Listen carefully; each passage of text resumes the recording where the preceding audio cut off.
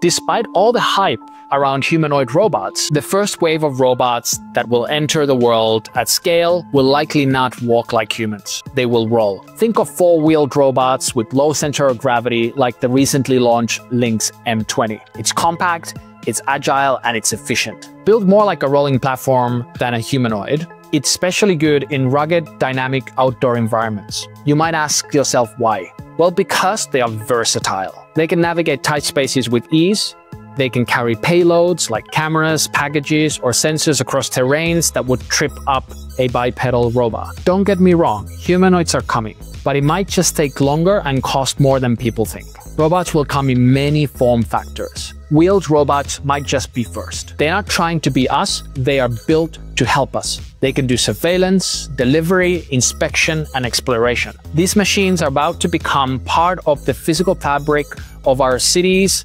factories, and farmlands. This is not a distant future. They are already here and they are being deployed.